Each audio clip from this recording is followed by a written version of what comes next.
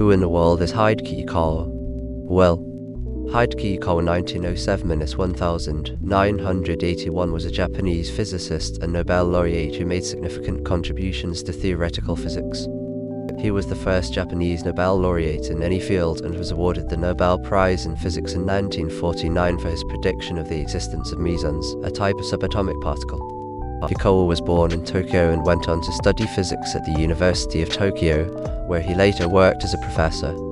He developed a theory connecting the nuclear force to the exchange of mesons, which would become known as the Yukawa theory. This theory provided an explanation for why the strong force that binds protons and neutrons in an atomic nucleus is much shorter range than the electromagnetic force.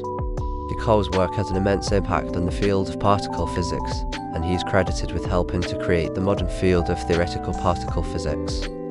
He also received numerous awards and honours throughout his career, including Japan's Order of Culture, the US National Medal of Science, and a Nobel Prize in Physics. Yukawa's legacy is still felt in the field of physics.